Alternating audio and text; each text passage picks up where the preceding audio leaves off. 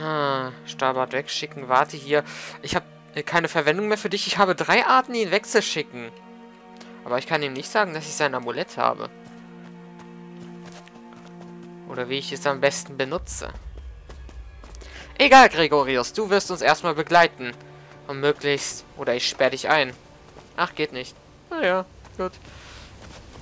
Wird es hell? Bilde ich mir das nur ein, oder... Es war hier auch mal viel dunkler, habe ich das...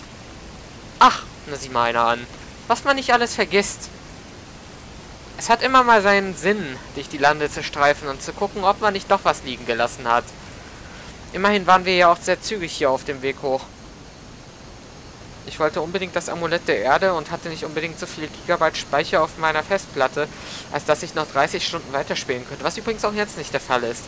Es könnte sein, dass zwischendurch der Speicher voll läuft und ich auf meine externe Festplatte wechseln muss. Wo ich dann eben meinen 1,5 Terabyte, die ja offensichtlich schon durch Risen 2 belegt sind, dann nochmal 500 GB belegen kann. Ja, ich bin... Ich nehme halt viel auf. Lasst mich. Ich brauche das im Moment, um bei Laune zu bleiben. Außerdem will ich möglichst viel hochladen können für euch, selbst wenn ich mal nicht Zeit habe aufzunehmen. Und in dem Fall lohnt es sich immer, was Vorrat zu haben. Auf Vorrat. Gothic 2 war bisher immer der Fall. Aber zurzeit habe ich das schon fertig gerendert und so viele Parts fehlen zu dem jetzigen Zeitpunkt auch nicht mehr zum Hochladen. Tja, da muss ich also mit Risen 2 nachschaufeln. Und nach Risen 2 wird es ein weiteres geben, womit ich danach schaufel. Der Schauplatz des Versprechens. Hier haben wir damals mit Patty, die da ziemlich nutzlos war, zwei Gorillas platt gemacht. Und dann haben wir hier noch den Strand, wo wir gegen Versunkene gekämpft haben und nicht zuletzt den linken Stiefel gefunden haben. Ob es hier noch weitere Gegner gibt, die wir zufälligerweise übersehen haben. Ich muss aber sagen, ich habe gerade 25, 23 Frames, aber zwischendurch habe ich dafür Frame-Abbrüche, die relativ untypisch sind. Ich weiß nicht genau, ob ich irgendwas anders gemacht habe. Kann ich ja mal gerade gucken. Optionen. Video. Nein, kann ich nicht sagen. Optionen. Grafik. Nö, war die, zweit, äh, die zweitmeiste. Ist alles soweit eigentlich genauso, wie ich es vorher hatte. Aber es gibt trotzdem einen leichten Unterschied, der teilweise gut und dann auch wieder schlecht ist. Oder ich bemerke es einfach noch mehr. Ja, doch, hier oben waren wir. Tja, Stahlbärtchen, es sieht so aus, als hätten wir doch alles von... Ey, kein Grund abzuheben. Alles von der Insel erkundet. Was sagst du dazu? Bestimmt gar nichts. Wenn ich ihn anspreche, kann ich ihn wieder auf drei erdenkliche Arten wegschicken. Und ansonsten... Hey, damit schlägt man doch nicht. Yes, sir! Yes, sir! Yep! Du stehst mir nicht mehr im Weg rum. Ah, dich werde ich lehren. Yes, sir! Ja, friss das! Ah, ah. Jetzt hör schon auf! Oh. Ach, nutzlos wie immer. Jetzt kommst du, nachdem er tot ist. Und ein Axt. Nicht so, dass wir das nicht alleine schaffen würden, aber ich hätte deutlich weniger Damage kassiert. Arg! Okay, Frame-Anbrüche sind tatsächlich an der Tagesordnung in der heutigen Aufnahmesession. Liegt aber vielleicht auch daran, dass ich hochlade. Du, zusätzliche Belastung meines PCs. Das mache ich sonst ja nicht. Jedenfalls nicht immer. Manchmal schon. Trotzdem, dass ich manchmal mehr Frames habe jetzt, ist verwunderlich. Ich wandere nicht zwischen 20 und 18, es kommen auch teilweise 24 und so. Wo? Wo? Ach, nur der eine. Stahlbart macht was! Und er macht tatsächlich Schaden. Yes! Tja, das sind sie halt, die Versunkenen. Und du bist ja theoretisch auch fast versunken gewesen. Dein Schiff jedenfalls. Irgendwo im Grunde des Meeres von Takarigua. Nein, scheiße. An der Schwertküste dümpelt es gerade vor sich hin. So schön das auch ist, aber ich glaube, die Fische hier sind ein bisschen glitchy. Und wieder zu der einen Höhle, wo wir schon zweimal drin waren. Und wo es definitiv nichts Neues geben wird. Trotzdem mal kurz... Ach, gerade wird ein automatischer Speicherstand erstellt, da speichere ich mit einem Schnellspeicherstand. Ist aber auch egal, auf diesem Weg kommen wir nämlich auch wieder zurück zur Stadt. Ich kann auch gucken, ob ich Erzadern irgendwie übersehen habe, aber nein, dem ist nicht so. Dann können wir ja langsam zurück. Wo genau müssen wir denn dann Oh, guck mal einer an. Es gibt noch Truhen, die wir nicht geöffnet haben. Oder öffnen konnten. Und ich weiß eine Truhe, die uns vielleicht helfen kann. Dafür muss ich dann auch wieder zur Schwertküste. Okay. Die zwei als letztes. Die reagieren nicht miteinander. Die aber. Aha. Eins, zwei, drei, vier, fünf, sechs, sieben, acht. Jetzt habe ich's. So. Trank der Überzeugung mit Silberzunge plus 13 für 30 Sekunden. Sowas kann man auch mal gebrauchen. Ach, dazu sechs Kugeln und zwei Goldbrocken. Solche Tränke kann ich ja gerne mal einnehmen, wenn ich irgendwelche Gespräche habe. Wo ich Silberzunge brauche, die ich nicht habe. Und guck mal da, eine Erzader, die wir übersehen haben. Als hätte ich es nicht eben schon gesagt. Total vorausbeschworen. Yes! Ja! Und fünf Goldbrocken mehr. Auf unserem Konto. Staber, du folgst uns auch gut. Uhu, Antigua wird einen Geist sehen. Geisti, beisti, beisti, ah. Hier ist doch dein toter Mann. Murray? Nein, Nesia. Weißt du was darüber, wenn wir gerade hier sind? Hast du keine Gesprächsoptionen dafür? Weißt du was? Ich habe gerade keine Verwendung für dich. Wenn du willst, verschwinde ich ins Reich der Toten. Du kannst mich jederzeit widerrufen. Ha. Okay. Kehre zurück ins Reich der Toten. Ei, Captain. Wupp. Das war eine Blähung, sondersgleichen. Jetzt weiß er plötzlich, dass er tot ist. Aha. Und er erkennt mich als seinen Captain an. Das ist mal eine Wendung. Gregorius, Gregorius. Das hätte ich dir ja gar nicht zugetraut. Okay, sie... Ein Moment. Ich kann dich da jetzt nicht reinlassen. Geh mir aus dem Weg, oder du wirst es bereuen. Hier drin ist Slane, deswegen. Ich mache kurz einen Aufnahmestopp, weil meine Stimmaufnahme wegen der ganzen Lags und Schnitzer asynchron werden wird, glaube ich. Wir sehen uns gleich. So, da bin ich wieder. Ich bin mir aber nicht sicher, was ich gegen die Lags tun soll. Im Moment ist mein Computer wohl ein bisschen überlastet.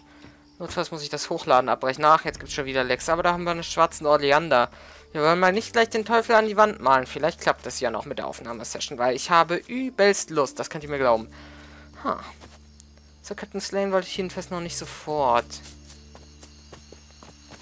Obwohl, vielleicht ja doch. Kompliziertes Schloss. Aber echt? Wer hat sich das Schloss ausgedacht? Warum kann ich diese Treppen nicht hoch? Und vor allen Dingen, wessen Skelett ist das? Ah, Fragen über Fragen und keine Antworten. Was soll denn das werden? Mein Gehirn ist total überlastet. Ah, in jedem Fall. Sind die Wasserschlepper immer noch eifrig am Werk? Wir brauchen sie aber schon längst nicht mehr. Wir haben eine Möglichkeit, die Pistole zurückzugewinnen. Aber auch das würde ich noch gerne hinten dran schieben, weil ich noch nicht so gut in das Spiel bin. Auch wenn es fairer ist. Außerdem mag ich diesen Don Michelangelo da hinten nicht. Wie hieß er denn noch gleich? Ach, Pirat. Nee, das war er nicht. Ach, wir müssen noch den Galgenstrick suchen. Diese Rechnung habe ich noch nicht vergessen. Keine Sorge. Hier, Donahue. Äh? Wenn du nichts dagegen hast, nehme ich mir dein Bett. Ach, der wartet darauf, dass wir ihn zum... der schläft nicht hier drin, weil er darauf wartet, dass wir ihn herausfordern. Wir haben gerade eine einsichtige Einsicht in unseren Helden bekommen. Da war er ganz schön einsichtig. Ach, und du. Disgrace. Ich habe keine Diebeskunst. Wie viel habe ich? Lass mich mal gucken.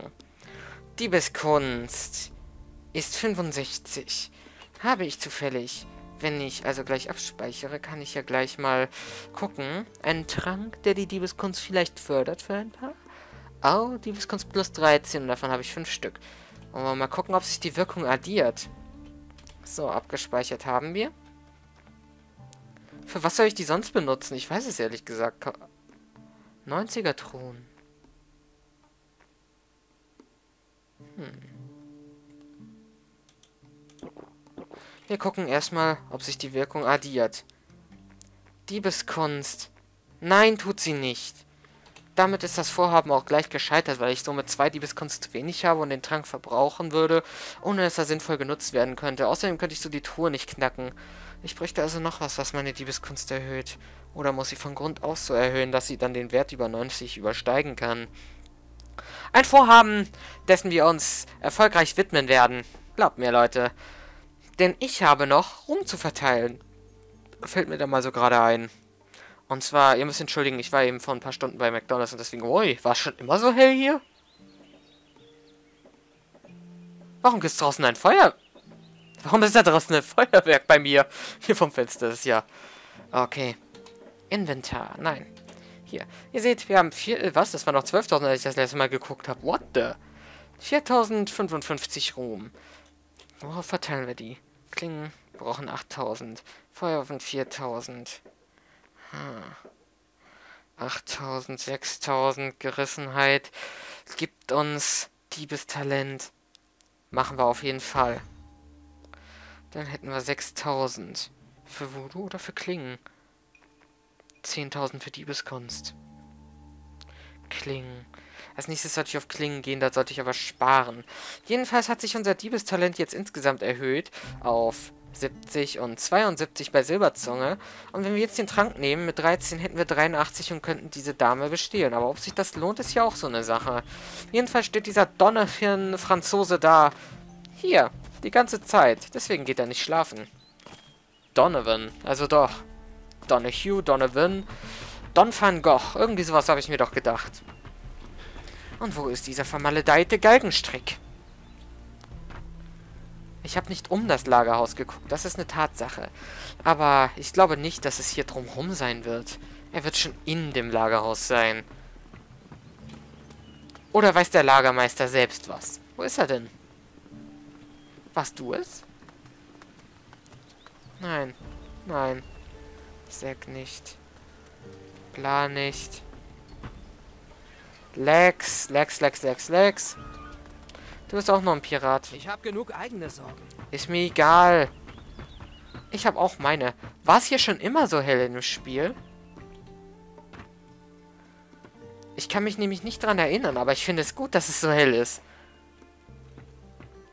Das gibt dem Ganzen eine freundlichere Atmosphäre. Und macht es auf YouTube leichter zu sehen.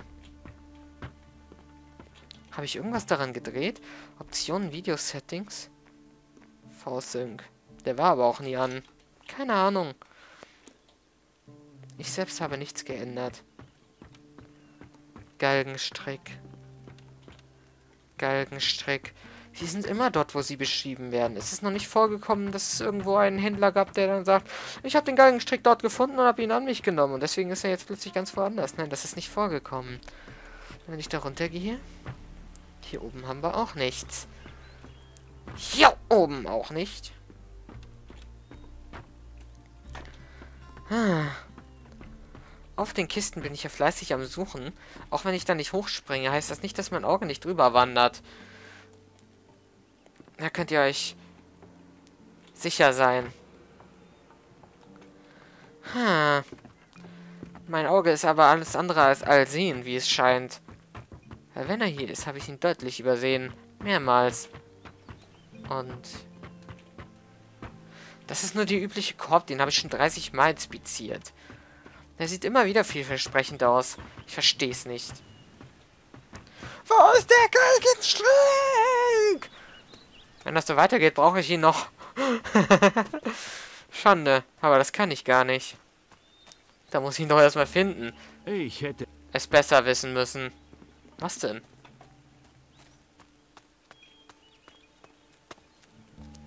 Na, netto. Verstehe ich nicht. Ah, ah, ah. So. War nur ein Loch im Dach. Leere Kiste. Ist ja super. Leere Kiste. Gar nichts. Da oben drauf auch nicht unbedingt. Es gibt hier auch keinen Telekinese-Zauber, wie in Risen 1, um ihn hier von oben hochzuholen. Unter dem Boot ist auch nichts. Also. Risen 2 Spieleentwickler, Programmierer. Wo ist der Galgenstrick? Dieser Galgenstrick, der hier in einem Lagerhaus auf Antigua. Ich kann ihn mir super markieren, das bringt aber ganz genau gar nichts, weil mir diese Gegenstände so als solche nicht angezeigt werden. Was mache ich also? Lagerhaus. Einem Lagerhaus. Antigua. Ich gucke jetzt einfach mal nicht nur in ein Lagerhaus, sondern in alle Orte, wo ich eigentlich noch gar nicht nach irgendwas gesucht habe. Sei es jetzt eine Fischerhütte oder ein Leuchtturm. Ist mir jetzt auch egal. Ich bin verzweifelt und ich will dieses Item. Der Mutige. Ist ja super. Haben wir das Item überhaupt? Ich weiß es nicht mal. Also eins ist klar, hier finde ich keinen Galgenstrick. Das war schon das Lagerhaus hier. Hast du irgendwas zu sagen? Gut, dass es noch Typen wie dich gibt. Ja, sonst wärt ihr alle schon längst tot. Das ist die bittere Wahrheit, die niemand auszusprechen wagt. Tut mir leid. Oder auch nicht. Galgenstrick. Ich bin müde, mein junger Freund. Lass mich etwas ausruhen.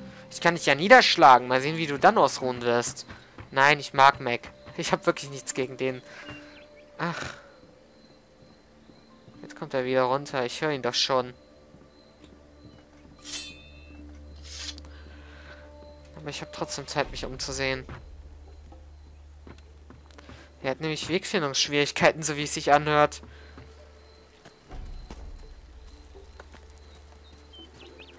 Aber es kann doch nicht. Hey, ich bin hier nie runtergelaufen. Der Goldklee ist ein Beweis. Geht es hier nicht? Hä? Wo bin ich?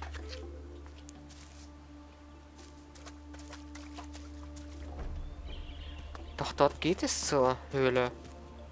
Und zu welcher? Das ist doch nicht die, in der ich eben drinne war. Aber ich war hier. Doch, das ist die. Eben jene Höhle. Na, so ein Zufall. Was für Lagerhäuser kann ich übersehen haben? Ich bin gerade wirklich am überlegen. Da steht doch wirklich sicher Antigua. Wo ist der Lagerwächter? Ich kann ihn nicht unbedingt auf diese Mission ansprechen. Das mag vielleicht sein, aber ich will es nicht unversucht lassen. Ach, na das ist ja lustig. Eine ausgebrannte Fackel von mir. Dass die noch erhalten bleiben. Damit bin ich ein ewiger Umweltverschmutzer. Na super. Ach, hilft mir aber alles nicht. Ich muss nämlich eine Umweltverschmutzung beseitigen, nämlich einen hingeworfenen Galgen, der allerdings viele Sachen für mich bringt. Am liebsten will ich den Donovan erschießen. Aus Frost.